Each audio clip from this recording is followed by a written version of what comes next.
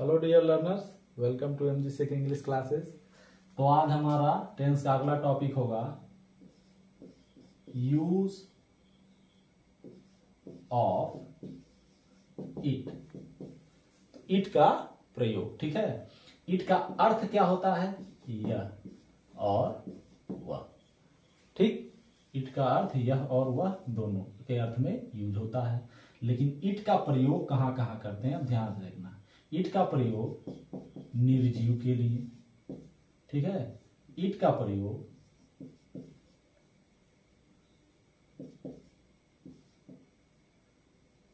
जब वाक्य में सब्जेक्ट न हो, यानी कि जब वाक्य में तुम्हें सब्जेक्ट नहीं दिखेगा, तब भी वहाँ ईट का प्रयोग हम किस रूप में कर देते हैं? सब्जेक्ट के रूप में। अगला तीन पॉइंट है, ठीक है? समय। अगर वाक्य में समय आ गया, वर्षा आ गया, ऋतु आ गया, मौसम आ गया, ठीक है? ठंडी, गर्मी, उजाला, अंधेरा, ठीक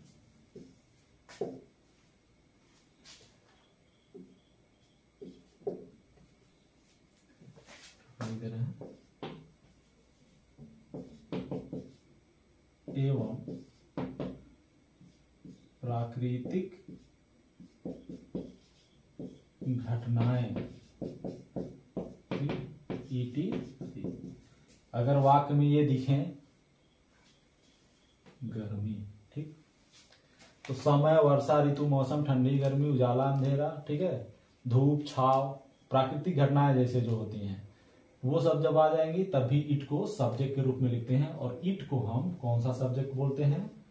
इंट्रो डक्टरी सब्जेक्ट या फिर डमी सब्जेक्ट क्यों? क्योंकि वाक्य में इसका कोई अर्थ नहीं होता है। तो जब वाक्य में सब्जेक्ट का कोई अर्थ नहीं, जैसे वाक्य में सब्जेक्ट ही नहीं रहेगा तो वहाँ पे भी सब्जेक्ट के रूप में इट लिखेंगे। तो वहाँ पर उसका अर्थ क्या होगा? जैसे पहले निर्जीव वाला देखते हैं। यह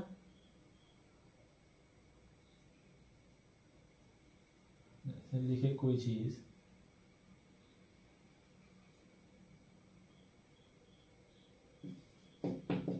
मेज पर एक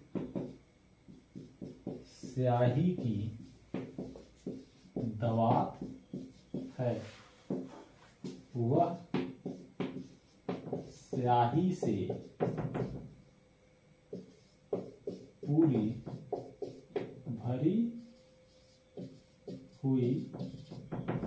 है। ठीक? तो अब देखिए, मेज पर एक स्याही की दवात है तो किसी के होने और न होने की बात कर रहा है तो जब किसी के होने और न होने की बात करेगा तो सब्जेक्ट के रूप में क्या लिख देंगे देयर प्रेजेंट में है इज़ देयर इज़ क्या? दवात। एंड इंक पॉट कहा? मेज पर। On the table full stop वह स्याही से पूरी भरी हुई है। वह किसके लिए यूज़ हुआ है? दवात के लिए। तो दवात क्या है? निर्जीव चीज़ है। इसीलिए इसके लिए हम क्या लगा देंगे? वह। मतलब वह की अंग्रेज़ी क्या लिखेंगे? इट। अब भरी हुई है। पैसिव वॉइस हो जाएगा। इट इज़ फिल्ड किससे? विथ, माने से, इंक माने स्याही।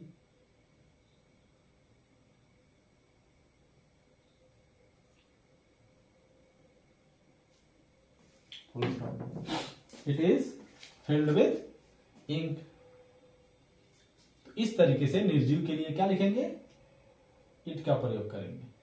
जब वाक्य में सब्जेक्ट ना हो, तब देखिए, जैसे लिख दिया,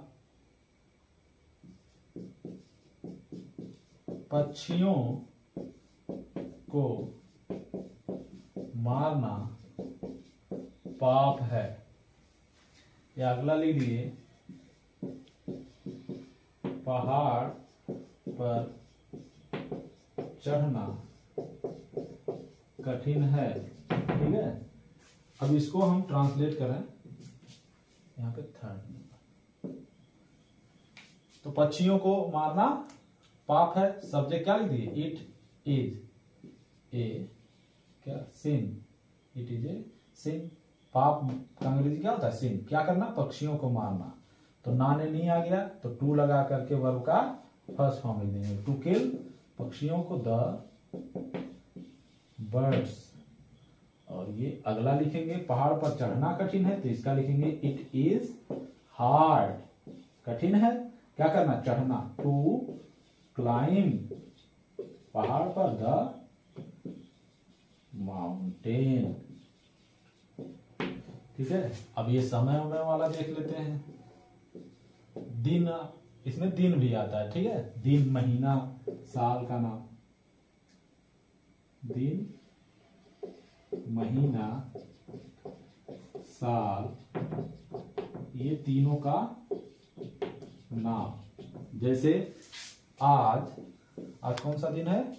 आज मंगलवार है। ठीक है? या अगला लिख लेते हैं। कल बुधवार था ऐसे लिख दिए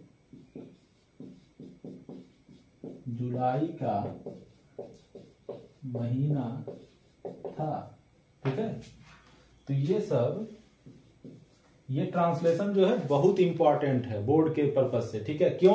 क्योंकि आप बोर्ड में जब पैराग्राफ वाला ट्रांसलेशन देखेंगे, ठीक है? तो उसमें शुरुआत में यही सब रहता है। जुलाई का महीना था, अत्यधिक गर्मी थी, घुटन थी, या अंधेरा हो रहा था, वह कहीं जा रहा था, जंगल से होकर जाना था, या कुछ भी ऐसे कहानी रहता है तो कहानी में अधिकतर करके, जैसे एक राजा था, वह बड़ा निर्दयी था, उसका नाम शैतान सिंह था ठीक है? तो ये सब कहानी ऐसे पैराग्राफ में ऐसे ही होता है। अधिकतर चीज़ें या तो उसमें बी का प्रयोग होगा, या तो हैव का प्रयोग होगा, या तो इट से शुरू होगा, या फिर देयर से शुरू होगा। तो कहा, पैराग्राफ की शुरुआत ही ऐसे ही वाक्यों से होता है, ऐसे ही प्रयोग से। तो इसीलिए ये सारे प्रयोग हम पढ़ाते हुए चल रहे किनारे से। इसको ध्यान से पढ़ना आप लोगों को। जिसको कम, जिसको कमी निकालना रहेगा कि बहुत छोटा है एक कम गूंज दे रहे हैं, कम दिख रहा है, बड़ा दिख रहा है। तो बाऊ बर्दाश्त करो। नहीं तो पढ़ो। ठीक है? आज देखो, आज मंगलवार है। अब कहना, आज तो नहीं है तो अब हम क्या करें? इसमें है। लिखा हुआ है तो तुमको बनाना पड़ेगा। ठीक है? सब्जेक्ट क्या लिखेंगे? इट और ये है कि जब हम ईट का प्रयोग करते हैं तो ईट के साथ ये ध्यान रखना है। प्रजेंट में क्या लगता है? इज़ ठीक? और पास्ट में क्या लगता है? वाज एकदम आसान। इसके अलावा दूसरा वर्ग नहीं यूज़ हुआ ठीक है? जहाँ देखिए, यह प्रेजेंट है इज़ अच्छा यहाँ पे इज़ प्रेजेंट है। यहाँ पे प्रजेंट है इज़ प्रेजेंट है इज़ अभी यहाँ पास्ट है तो यहाँ पे हम इट के साथ क्या लगा देंगे? वाज बुधवार का क्या लिखते हैं? वेंसडे वेडनेसडे नहीं, लिखते हैं वेडनेसडे लेकिन पढ़ते हैं वेंसडे और कल का लिखेंगे एस्टरडे ठीक? अब ये जुलाई वाला उधर चला जाएगा। It was the month of July it was the month of July और इट इज़ मंगलवार का क्या लिखेंगे? ट्यूसडे। आज का क्या लिखेंगे? टुडे। ठीक है?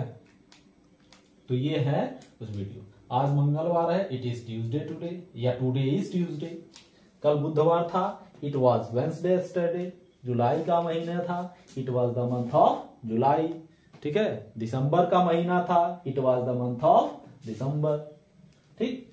तो कुछ और एग्ज़ाम्पल बता दे रहे हैं। जैसे घड़ी में समय उमय के लिए भी आ जाता है, ठीक है?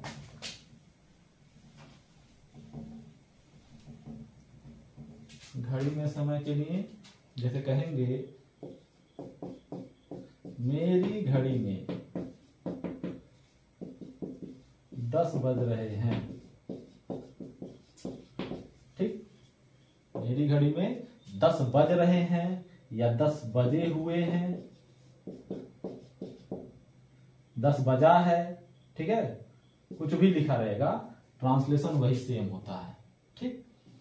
सब्जेक्ट क्या लिख दिए? समय के बारे में बात हो रही है इट सब्जेक्ट लिख दिए प्रेजेंट में है इज़ लगा दिए। टाइम क्या है? टेन ठीक? अ क्लॉक इसको क्या पढ़ते हैं? अ ठीक है? ओ नहीं uh it is ten o'clock मेरी घड़ी में तो मे की अंग्रेज़ी, घड़ी में मे की अंग्रेज़ी क्या लगाते हैं? बाई इन नहीं लिखेंगे, ठीक है? घड़ी में समय बताने के लिए मे की अंग्रेज़ी क्या लगाते हैं? बाई मेरी घड़ी का क्या लिख दिए माई वॉच ठीक?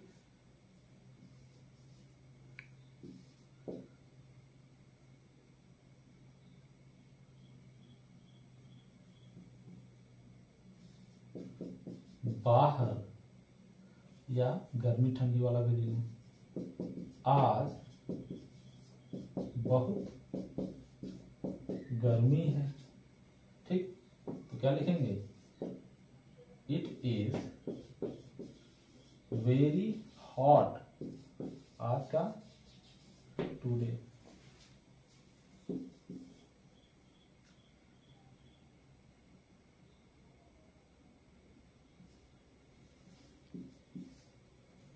सर्दी का मौसम था। सर्दी का मौसम था। ठीक है? इसका जब बनाना होगा तो इट माने हो गया सब्जेक्ट था की अंग्रेज़ी क्या लिख देंगे? वार अब सर्दी का मौसम, इस पूरे की अंग्रेज़ी क्या होता है? विंटर ठीक है? इट वॉज़ विंटर विंटर माने सर्दी का मौसम। उसी तरीके से लिखा जाएगा गर्मी का मौसम। तो गर्मी का मौसम का अंग्रेज़ी क्या हो जाएगा? समर तो उसमें लिख देंगे इट वॉज़ समर है तो इट इज़ समर जैसे अभी ठंडी का मौसम है तो इट इज़ विंटर ठीक? तो इस तरीके से ट्रांसलेशन करेंगे। प्रेजेंट में रहेगा तो इज़ पास्ट में रहेगा तो वॉज़ इट को क्या कहते हैं? इंट्रोडक्टरी सब्जेक्ट या डमी सब्जेक्ट तो उम्मीद है वीडियो अच्छा लगेगा, समझ में आ रहा होगा तो बहुत अच्छी बात है। बहुत दुयो चार लड़के अगर बढ़िया से समझ लिए तो जान लो हमारा वीडियो बनाना धन्य हो गया। ठीक है? धन्यवाद।